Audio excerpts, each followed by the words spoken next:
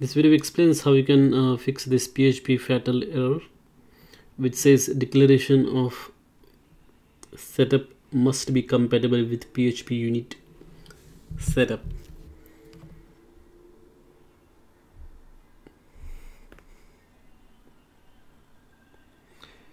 So here you can see I'm getting this error and uh, to fix that what you have to do is you have to use colon void and then this issue is fixed. So for a PHPUnit I'm using 9.1 and in the latest versions of PHPUnit what they have done is the way we write the setup methods is also called as fixture methods it is a little bit different.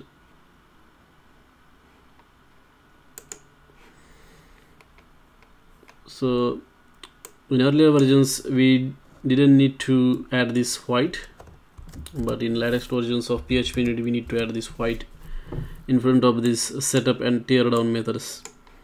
Otherwise you will get that error saying that declaration of must be compatible.